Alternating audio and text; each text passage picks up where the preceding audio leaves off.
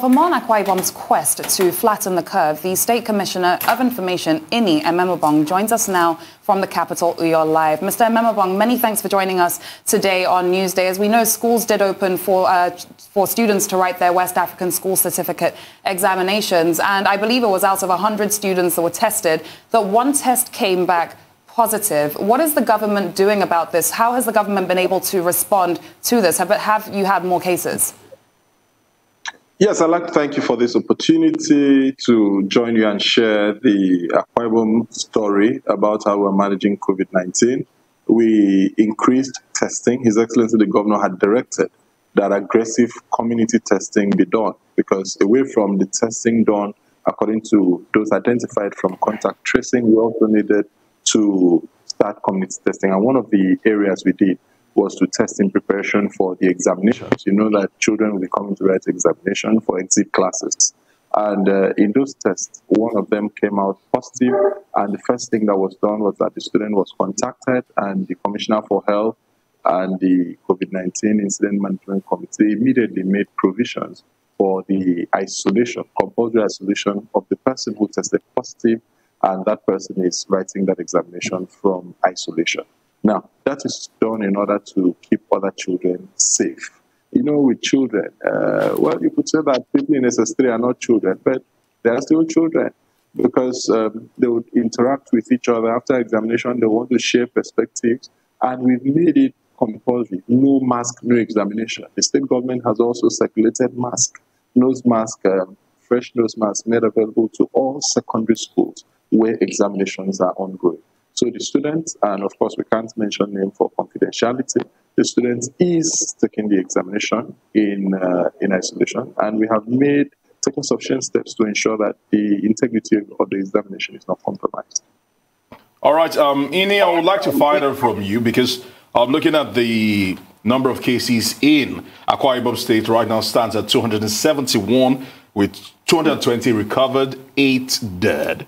And unfortunately, but I must say that the standard for the opening of businesses, return to school has to be when 5% of those returning cases from the test being done in the state is less than 5% is positive, then you can actually go ahead. I want to find out how much testing has been done and did you achieve that less than 5% before schools were reopened?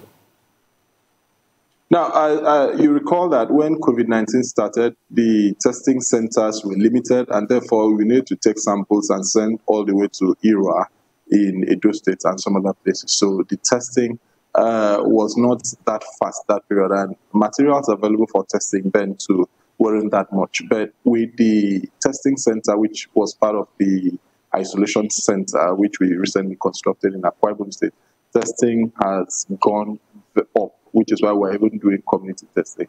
We are currently at um, about 2,000, you know, 2,000 cases tested uh, currently. So, and that accounts for more than 45%, which is the function of our test center being available here. So that's um, to the extent, and we're still testing. As we speak today, the testing, um, the testing department is in Oron local government area.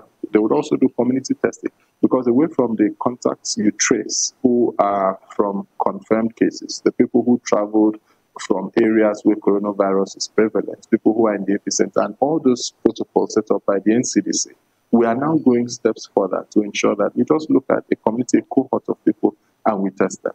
So we uh, and for the schools, we had to undertake decontamination before we, they went there, which is why if you look at it, the sample population that was taken from schools, you know, we, we couldn't test all the schools. Uh, no, no state has the facility to test all their students before they go there. But His Excellency the governor was concerned and said, look, let's take, and, and Uyo is still the epicenter for Akwa State if you look at it.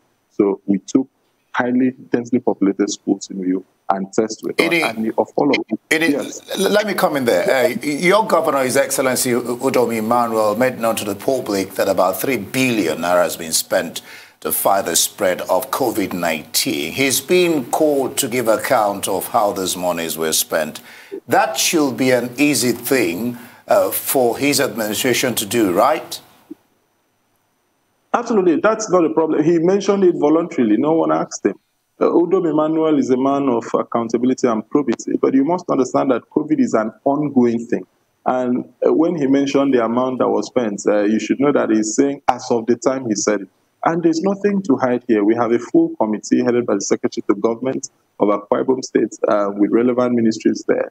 Any information uh, you need as to the breakdown, the Freedom of Information uh, uh, law, uh, the act which is applicable, is there for anyone to see.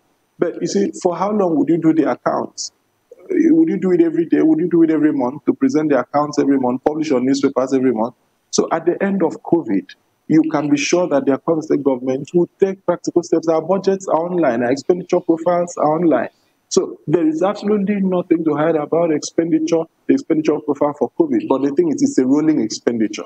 What we spent as at the morning or as at last night when we finished our COVID uh, uh, management meeting is not the same thing today. Costs would have been incurred. So if I give you an account as at yesterday and today something else happens, so the best thing is for us to be able to conclude as we come to a terminal point or a safe point in COVID response, you put a benchmark there and you issue the statement. That's why he was proud to mention the amount. Well, the good news is that, like you said, the public will be able to access this information. I don't know when the end of COVID is going to be, um, but it would be good to know that that information is available to the public. Three billion is a lot of naira. Many thanks to you, Commissioner of Information, Ini Ememobong, for joining us on Newsday today.